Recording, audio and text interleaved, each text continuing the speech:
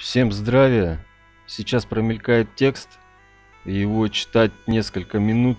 Я поэтому на ускоренно его здесь залил, чтобы не размазывать ролик. И так не короткий. Вообще рекомендую досмотреть его до конца. Для того, чтобы прочитать в начале текст, на шестеренку нажимай. Скорость 0.25 и временами нажимай на паузу. Все.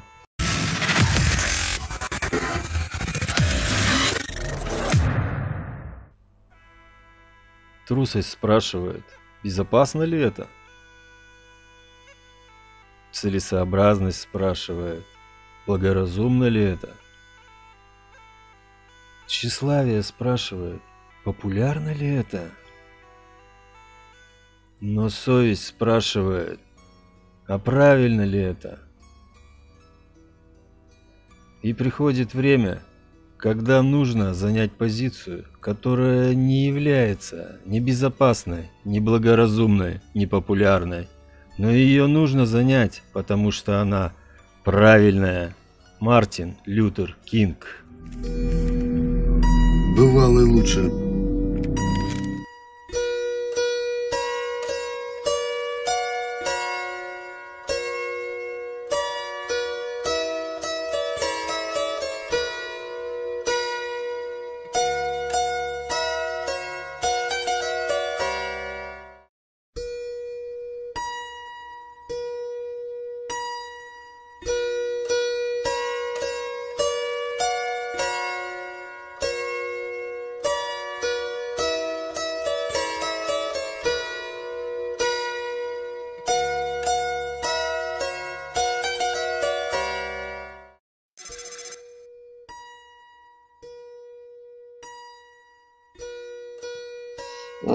Межпланетный космос люди так и не вышли. Смертельные болезни не побеждены.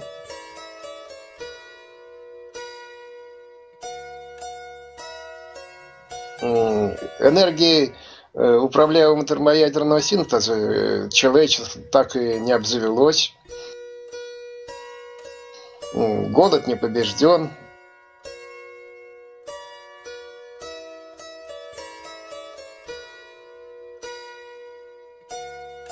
Социальное расслоение выросло и до сих пор растет, и так далее, и так далее, и так далее.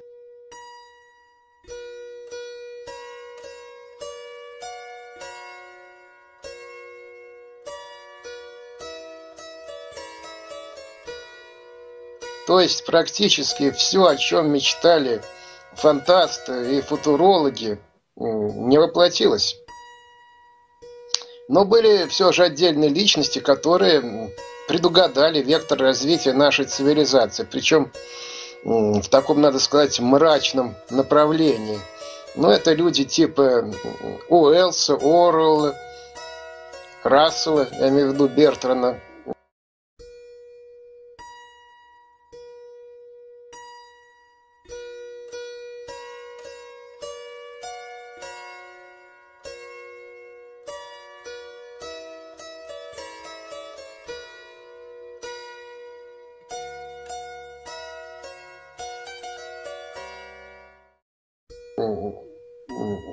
о них особый разговор, поскольку это не совсем ученые, да и не совсем люди. Но были и вполне обычные люди, писатели, фантасты, которые более трезво смотрели на будущее. Например, наш Иван Ефремов. Ну, а в детстве я прочитал библиотеку всемирной фантастики, и я поразился разница во взглядах на будущее у наших фантастов, которые мечтали там о коммунистическом будущем, и западных, которые нередко рисовали весьма мрачными красками будущее. Э, давайте вспомним, как э, планировалось будущее в Советском Союзе. Ведь э, был могучий такой госорган, госплан, специальные институты при нем – Э, детальные планы шли в Совет Министров. Теперь ничего подобного нет. Ну а как выполнялись пятилетние планы в Советском Союзе? Это были планы развития, они планировались с запасом на случай всяких непредвиденных обстоятельств. и выполнялись обычно досрочно. Ну, помните, были девизы типа э, «пятилетку в четыре года», ну и так далее. Планы были реалистичны, они выполнялись. Ну а теперь же планы развития – это некие декларации, которые выполнять вовсе не обязательно, поскольку никакой ответственности за это правительство не несет. Практически эти планы, э, планы за прошедшие 15 лет провалены, а у власти остаются все те же люди. Но мы, пожалуй, вот в этом году впервые пришли к ситуации, когда на следующий год э, планируется уже не бюджет развития, а бюджет деградации и развала страны. Сокращается все, что можно. Здравоохранение, образование, социальные расходы.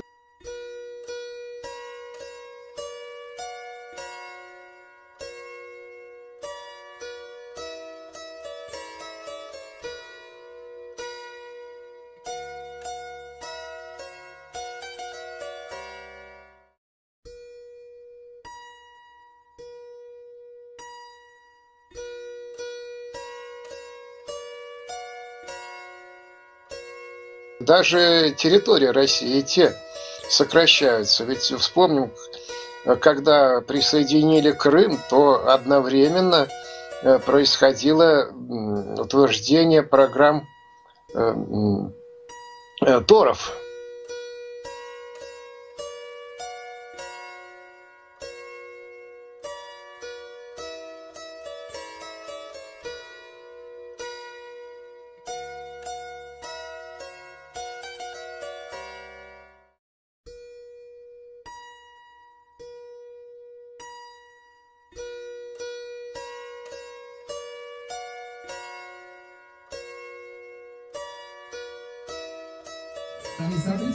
сегодня станет главной новостью всех мировых новостей. Ну а сейчас вместе с нами весь Крым и вся Россия.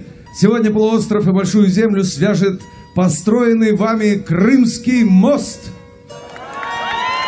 Я искренне поздравляю вас с этим замечательным, праздничным, в полном смысле этого слова историческим днем.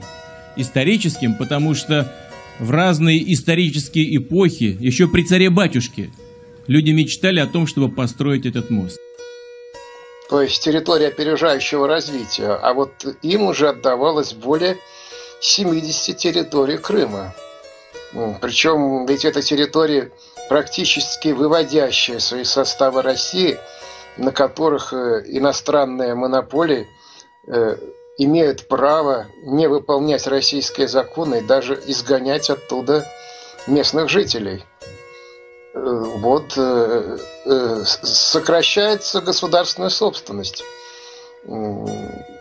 Причем объяснение этому безумию как следствие нехватки денег совершенно несостоятельно, поскольку сокращается доля государственных расходов в валовом продукте страны. То есть разворовывание и приватизация государства продолжаются все более высокими темпами.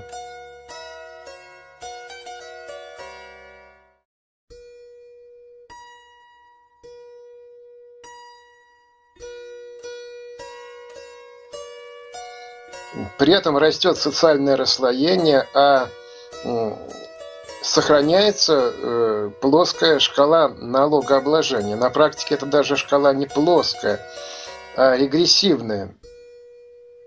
Тем не менее, в, в развитии в некоторых отраслях все же планируется, но оно весьма специфическое. Это такие проекты, как электронное правительство, э, как, э, помните, была такая форсайт программы «Детство 2030», теперь это «Семья 2030».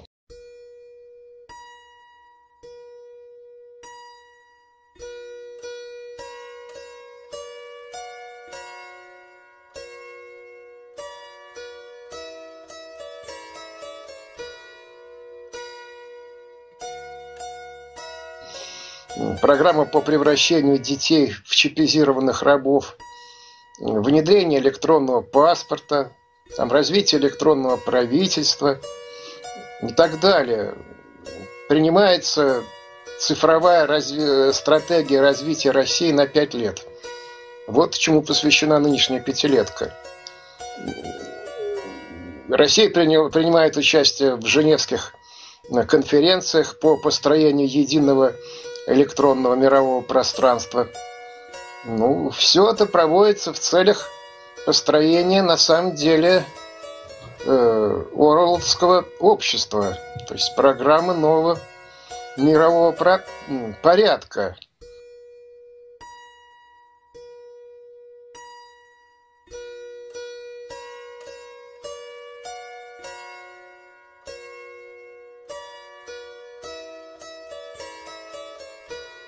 И, скажем, на корпорации Роснано или Сколково выделяется денег примерно на порядок больше, чем на всю Российскую Академию Наук.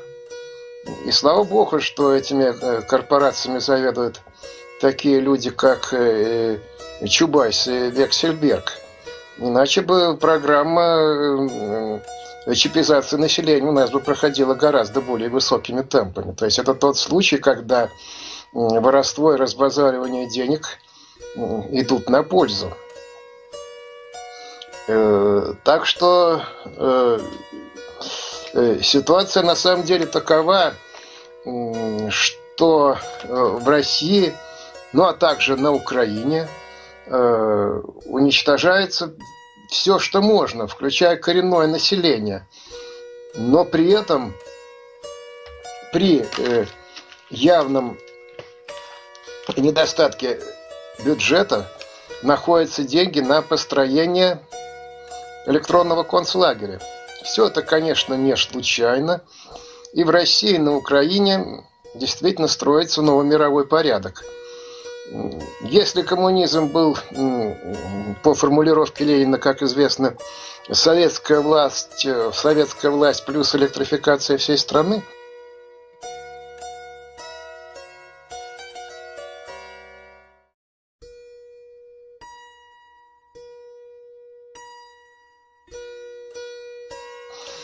то можно сказать, что новый мировой порядок – это власть сатаны Антихриста плюс чипизация всего населения.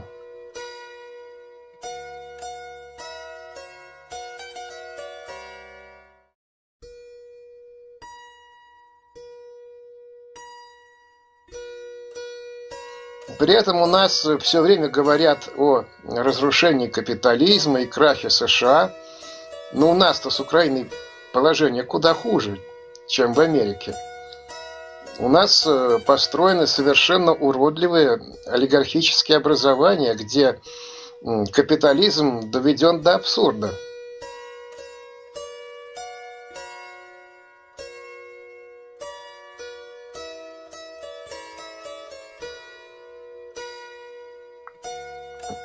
Ну, а если посмотреть логотипы наших крупнейших компаний, ну, также и украинских, то там же сатанинская э, эмблематика, так же, как и на э, э, эмблеме «Единой России», так же, как на членском билете «Единой России». Таким был Мишка на логотипе партия «Единая Россия» до 26 ноября 2005 года.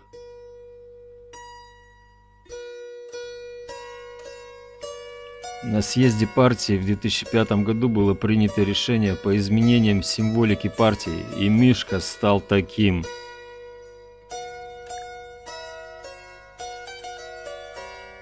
И потом кто-то первый заметил, что это козел в облике медведя.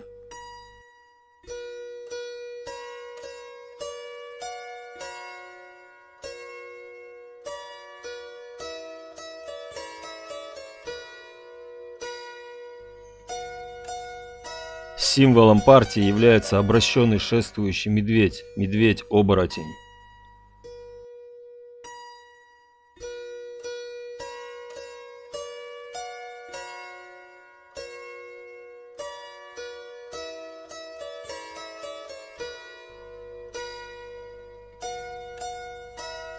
Имя этого козла Бафомет –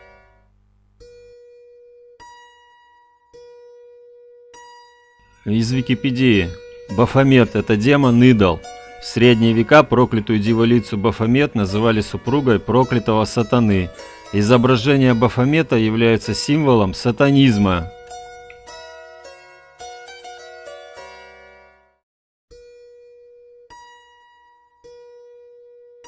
Бафомет – это астральное двуполое божество, гермафродит –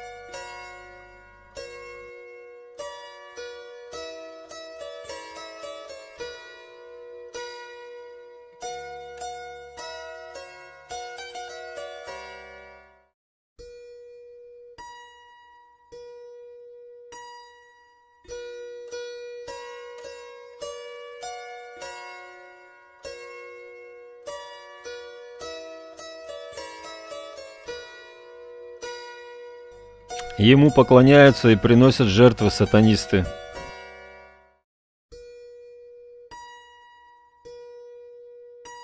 Девятнадцатого августа 18 года в городе Литл Роки, штат Арканзас, сатанисты открыли двухметровый бронзовый памятник Бафомету.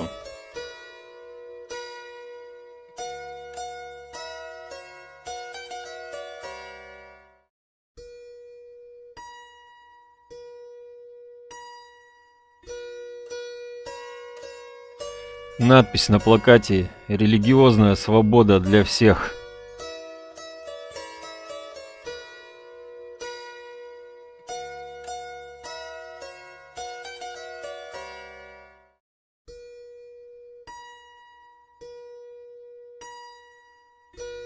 Они хотят, чтобы власти позволили им не убирать статую, так как по Конституции США у них есть право на свободу религии. Об этом сообщает Fox News.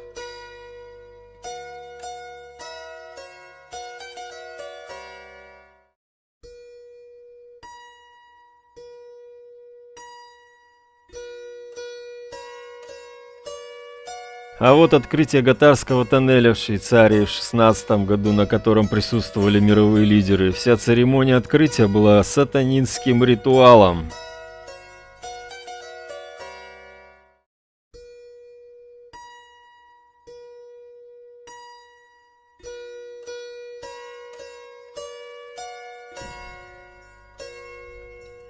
Бафомет на этой церемонии практически главный герой.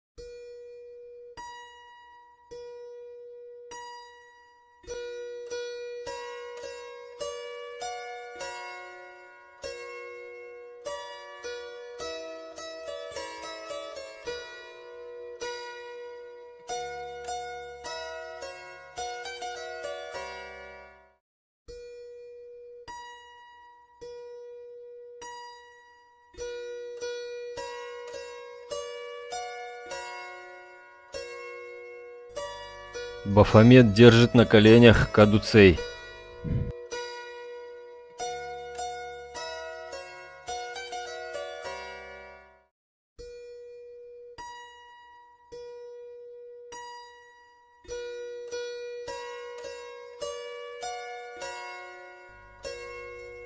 Из Википедии Кадуцей или Кирикион – это жезл глашатаев у греков и римлян – или название жезла Гермеса, обладавшего способностью примирять. Сходные символы были распространены и у других древних народов.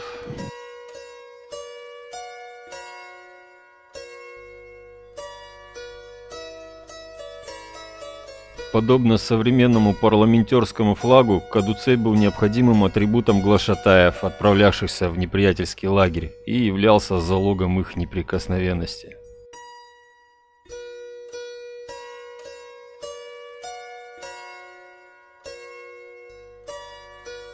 Также встречаются другие его описания, к примеру, символ ключа, отворяющего предел между светом и тьмой, добром и злом, жизнью и смертью.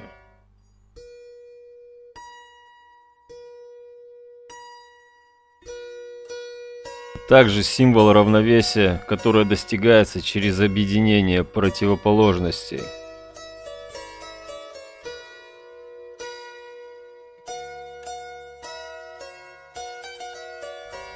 Эмблема сновидений, так как обладал способностью усыплять людей и пробуждать их ото сна.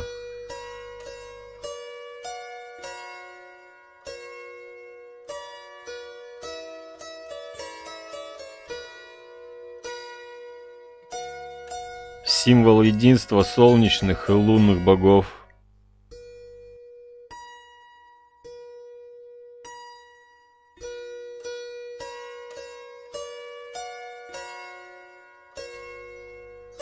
Схема сверхтонких структур человека, центрального канала, левого и правого, а также символа развитого разума, без которого невозможна духовная эволюция.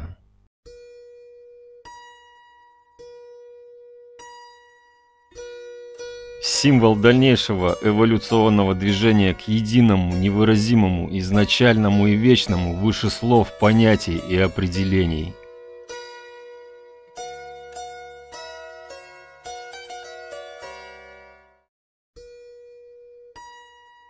Так же как схематическое изображение ДНК человека.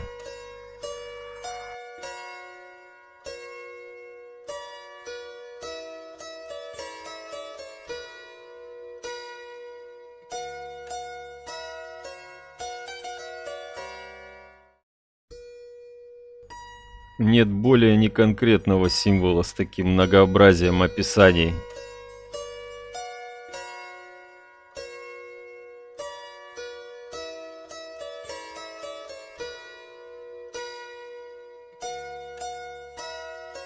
Довольно-таки часто кадуцей встречается в руках христианских священнослужителей.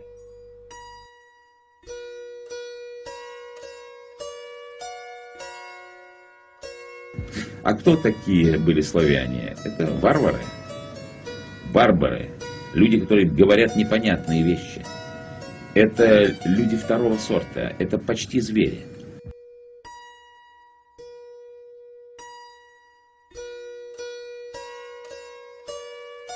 Согласно Библии, Еву искусил змей.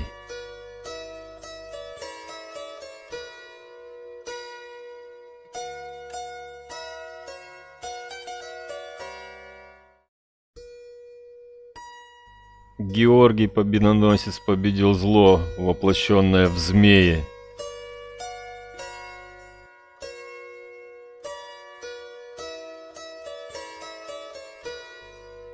Кадуцей со змеями никак не может нести положительный посыл в данной религии.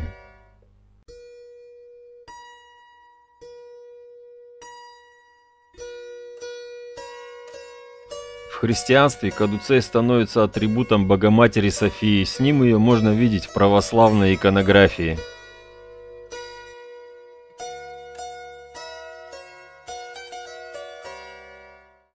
Например, икона «Премудрость Божия София» и икона «Святой Проотец Аарон».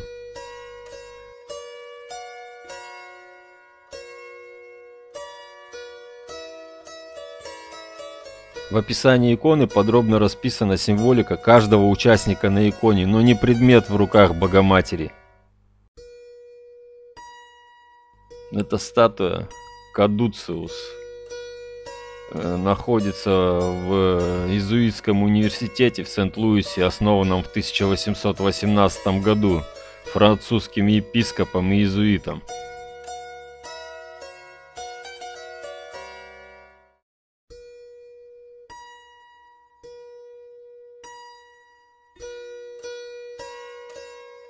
Поразительное сходство. Название статуи Кадуциус с иврита – означает инициализация. Инициализация – это обряд перехода индивидуума на новую ступень развития в рамках какой-либо социальной группы или мистического сообщества. Среди ритуалов перехода особое место занимают ритуалы инициации или посвящения –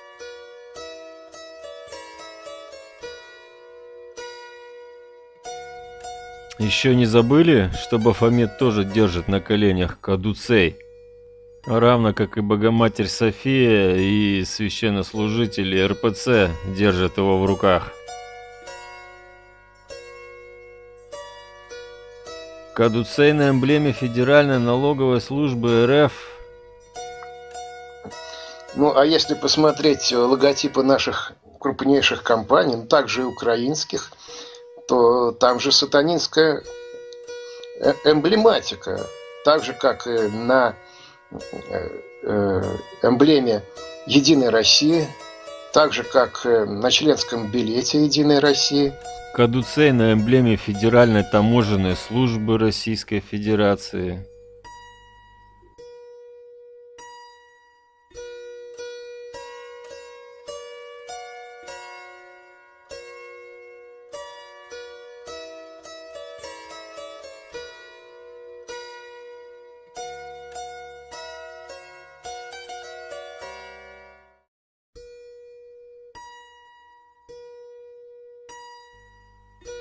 Кадуцей на флаге налоговой службы Украины.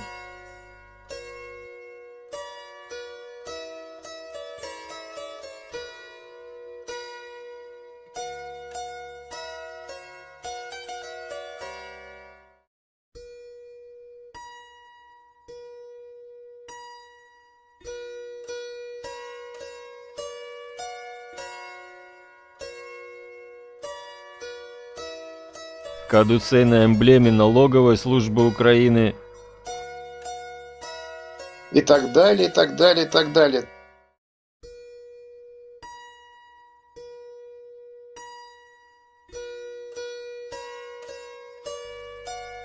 Кадуцей на эмблеме медицинской службы армии США. То есть э, получается, что действительно э, руководство этих организаций э, поклоняется сатане. Ну и наша медицина в этой же упряжке.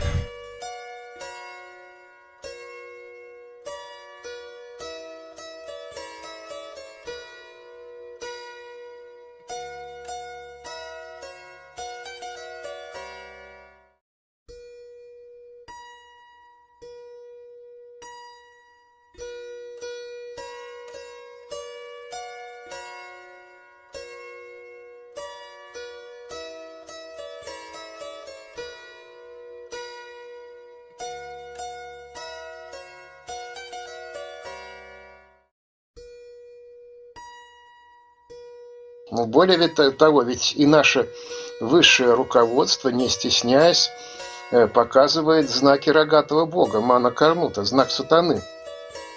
И это совершенно публично делается.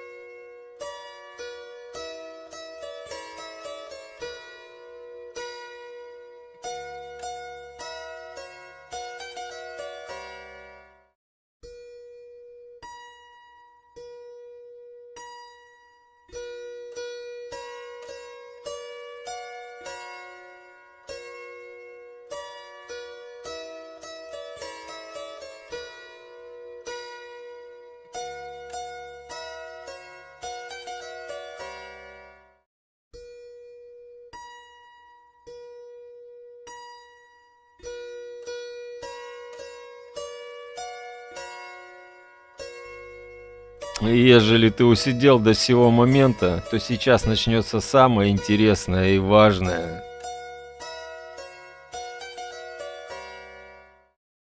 Медведь. Так выглядит логотип партия «Единая Россия». Или все-таки это не совсем медведь? Приглядитесь, это козел.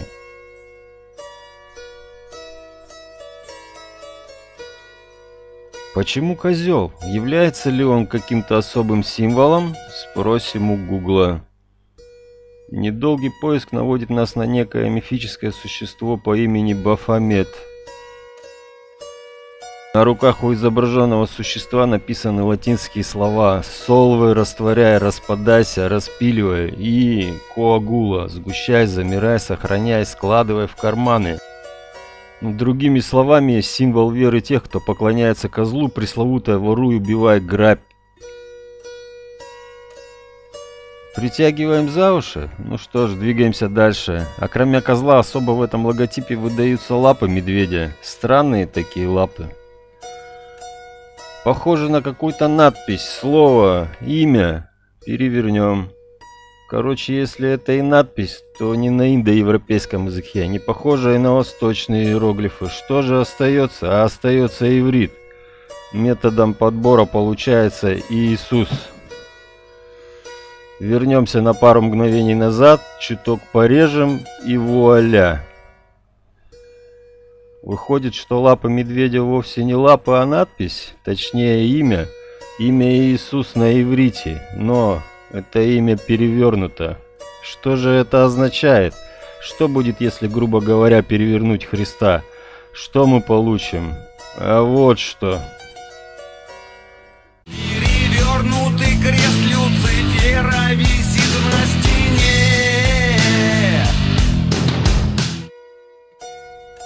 Как несложно догадаться, Христос наоборот, то есть антихристос, есть антихрист. Так же, как многие знают, перевернутый крест символизирует сатану. То есть э, получается, что действительно э, руководство этих организаций э, поклоняется сатане. И есть еще одно довольно-таки важное наблюдение.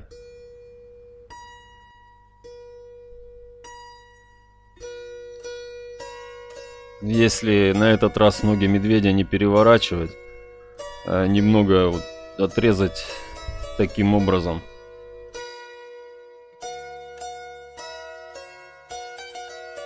Получается слово «цав» прописными буквами на иврите. Письменные буквы почти точно совпадают. Цав с иврита приказ, указ, веление.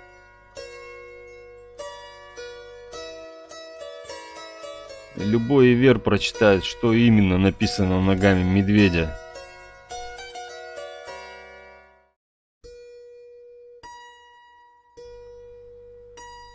Однако у слова «цав» есть и другое значение. Это раздел Торы, в котором подробно описан процесс жертвоприношения. Кто во что должен быть одет, куда, как.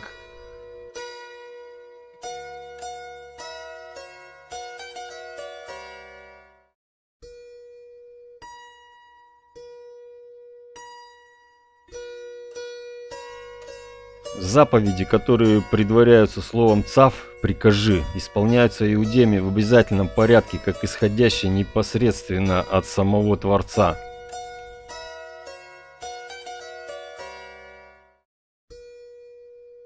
Заповеди, предваренные словами «скажи» и «говори», затрагивают лишь внешние уровни души и поэтому оставляют больше места выбору и решению. Заповеди же ЦАВ проникают в самую глубинную суть.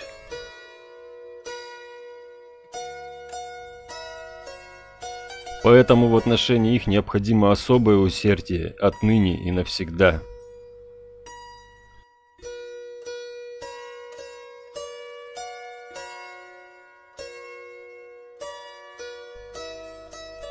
Книга Вайкра включает правила принесения жертвоприношений, обязательные для всего еврейского народа. Вайкра – это третья книга в пятикнижии Моисея, Э, книга Ваикра, недельный раздел ЦАВ, глава 6. «И говорил Господь Моше так, заповедай Аарону и его сынам так, вот учение о всесожжении».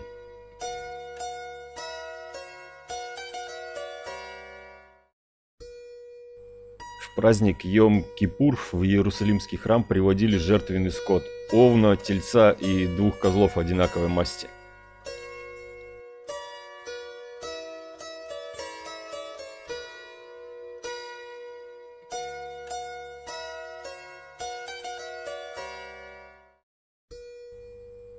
Первосвященник бросал жребий, и по его выбору первого из козлов приносили в жертву вместе с тельцом за грехи священника и еврейского народа.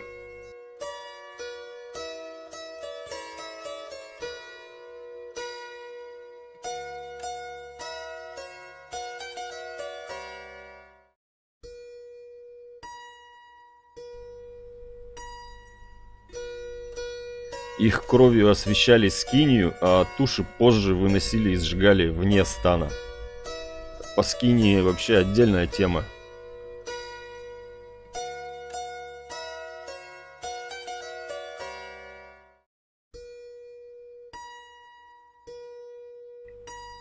А на второго козла священник символически возлагал грехи всего еврейского народа, и его уводили в пустыню.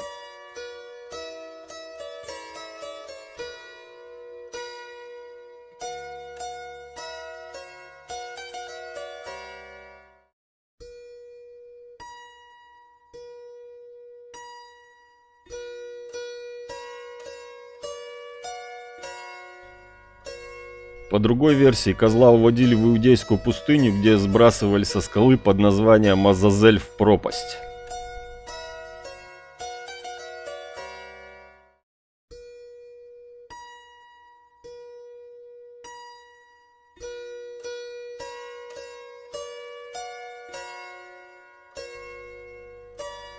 Отсюда и пошло козел отпущения.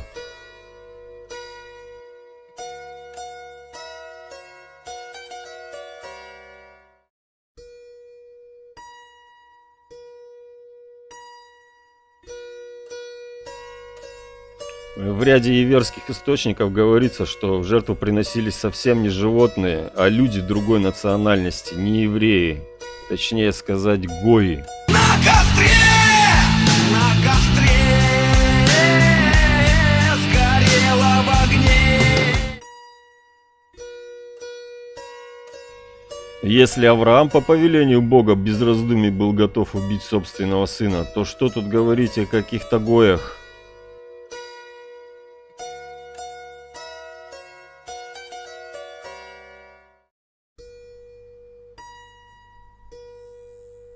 Логотип правящей партии «Единая Россия» имеет четкий посыл к владеющим ивритам. Все, что исходит от этой партии, имеет силу приказа, указа, повеления.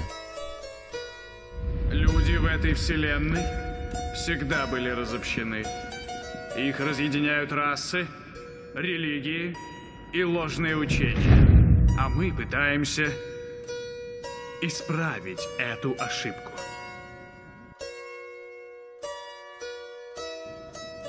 Ведь существует иная вселенная. И эту вселенную открыл он. Там каждый может все начать сначала. Там вас ждет жизнь без боли. Идеальный новый мир. Вселенная смерти.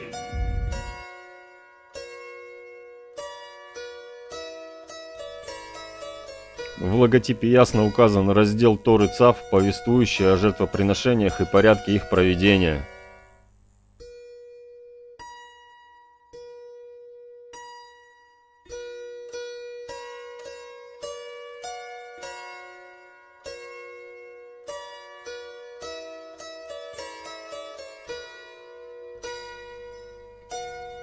Обозначена жертва, Русь, имеющая своим символом обращенного медведя, медведя-оборотня, козла отпущения грехов еврейского народа.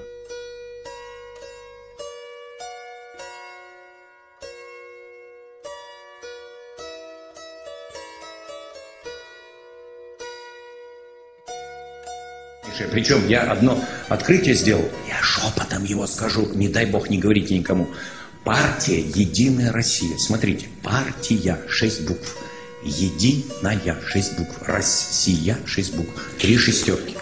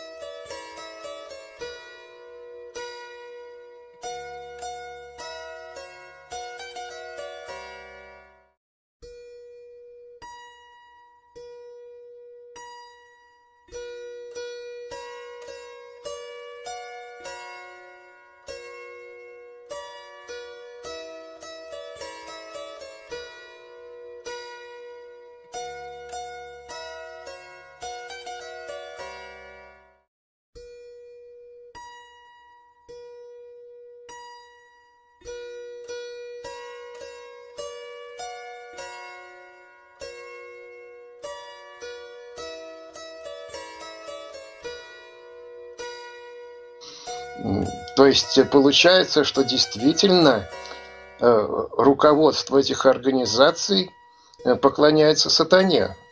Так что если мы будем пытаться ответ, ответить на вопрос, откуда происходит все это безумие и как из него можно выйти, то, конечно, надо обратиться Э, к той программе, которая в концепции общественной безопасности называется библейским проектом порабощения человечества. Но на самом деле эта программа не только порабощения, но и его уничтожения. Э, ведь в 95 году э, в нашей Думе проходили слушания по вопросу принятия концепции общественной безопасности. Она была рекомендовано к изучению. И было одобрено ее распространение. Но уже недавно книги генерала Петрова по концепции общественной безопасности были объявлены экстремистками. Более того, вскоре и э, основополагающая книга э, Покоп э, «Мертвая вода» также была признана экстремистской. То есть те вопросы о глобальном управлении – которые поднимались в этой книге, вот спустя 20 с лишним лет после обсуждения в Думе по какой-то причине у нас становятся запретными. Поэтому будем максимально толерантными, как теперь говорится, и будем излагать э, факты без каких-либо категорических моральных оценок. Верьте моим словам, нас ждут дьявольски суровые времена. Но чтобы выдержать тяжкие испытания, мы прежде всего должны убить в себе страх. Я стою здесь, перед вами, лишенный всякого страха. Я ничего не боюсь, прежде всего потому, что помню. Но помню не о том, что нам с вами предстоит пройти, а вспоминаю путь, который нами пройден. Я помню, что вот уже сто лет мы под угрозой вторжения машин. Я помню, что все эти сто лет они посылают свои армии, чтобы уничтожить нас. И на протяжении этих ста лет войны я помню о самом главном. Мы еще живы!